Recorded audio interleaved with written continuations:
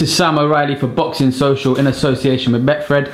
I'm at Steve Goodwin's offices today and lucky enough to be joined by Youssef Khoumari. How are you, sir? I'm good, man. How are you? I'm very good. We were just talking, it's been a little while, but um, this is the first place you did your first interview. Yeah, man. Before you turned pro. Yeah, yeah, we're back here. This is literally, I remember I was doing a media day and my first interview was done in here, so Yeah. back here again. You're now 9 and 0. So, Yeah. in, you know, in, the, in the two and a half, three years, you've racked up a very impressive record. Mm. Um, you've won accolades within the Goodwin stable, you know, b- best prospect and stuff, so you're getting recognition. Mm-hmm. How, how has it been for you, Youssef? Talk me through.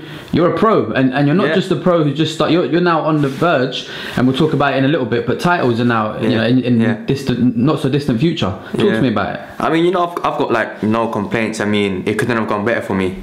I mean, I turned pro, and you know, as an amateur, when you're talking about turning pro, I feel like a lot of people tend to give you a lot of negativity about it straight away, whether they know about boxing or not. So they sort of tell you know, boxing's they, everyone thinks they know everything. So they say boxing's like this, or turning pro, you've got to do this, you've got to do tickets, whatever. But um, since I actually turned pro and and everything gone so smooth, it's it's almost unreal. You know, like I've won nine on the trot. Um, I've been putting 50-50 fights and I've come out good. So like I said, I've got no complaints and I'm looking forward to the future. Like I said, titles, man. So Yeah, yeah. So before Yeah, before that, you're on the Ultimate Boxxer undercard, which is Yeah. the 20th of September. Yeah. Um, talk, talk, talk to me about that. You've been on a couple of big shows now. Yeah. Um, on the undercard, is that is there a big difference between those and New York Hall fight nights, and what, what, what does it feel like? Um, there's a big difference. I feel like when I'm on New York call and I'm on one of Steve's shows, um, you whenever Steve says you're gonna box, you're gonna box. You're seventh in the on in in the list. You're seventh in it. I mean, on the big shows a bit different. You might be a afloat. You might end up boxing after the main event. You might not even box at all. So it's, it's it's very different. And you know, if you're gonna go on the big show, you got to weigh up the pros and cons. You know, and see if it's actually beneficial for you to go on it. But um, that being said, it is it is benefit. I, I like going in the big shows because being an amateur watching boxing when I was young growing up, I always wanted to be what I saw on TV. Yeah. And that's the big shows, the O2, the the the, um, the L2 Indigos or whatever it is, or Wembley Arena and them sort of places. So. In a way, you know, it's always going to be appealing to you, regardless of the risk there, you know. So, Yeah, and the, the experience of being part of the big shows and Yeah. you know going through the process, the, the weigh-ins beforehand and the media day. So it's all going to be good, you know, good experience for you, isn't it? yeah, yeah, yeah. Um, have you have you done a lot of tickets for those? The- One thing I always wonder about, obviously, Yeah. a lot of times the guys come on there for, to help with ticket sales and stuff. Yeah. Um, does it? Do you notice a difference in your ticket sales when you're on the big shows rather than New York Hall shows?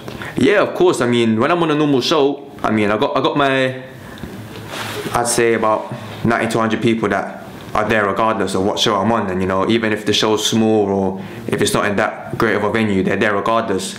But I feel like when I'm on on a big show, like if it was the Joe Joyce on the card or Wembley Arena, a lot of other people start popping up and coming to the shows. So in a way, it does help raise your profile. People seem to get more interest in you when you're boxing on the big shows.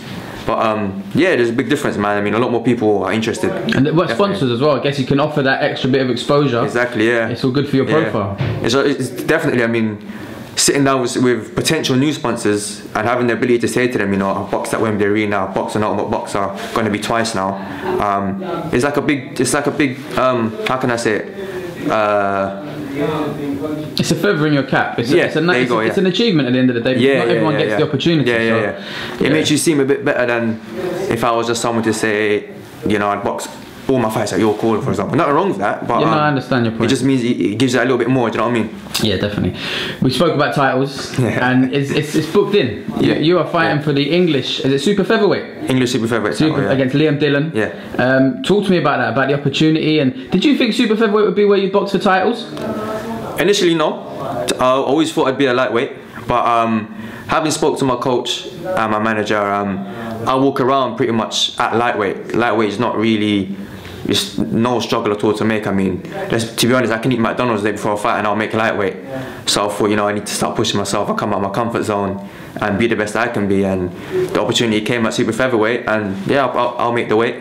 I just got to be a bit more disciplined, but I'll make it. So Yeah. I'm excited for the challenge though. So I'm ready to go. Liam Dillon's uh, Southern Area title holder. Yeah, yeah. Um, he's another Goodwin guy. Yeah. Um, so it's in house. So you obviously know a little bit about him. Yeah, Well, what, yeah. From the outside looking in, what do you what do you know about him? What do you think about him, his style wise and stuff? And how does this, this fight potentially match up?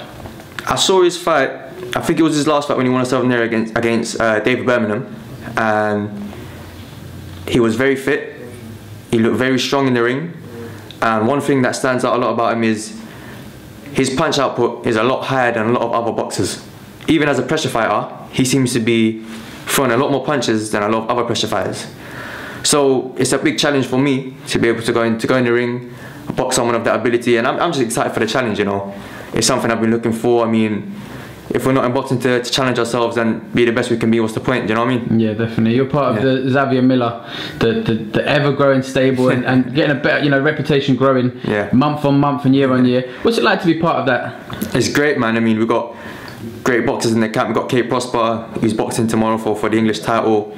Um, it's great to be around guys like him because, for example, when you feel like, how can I say it?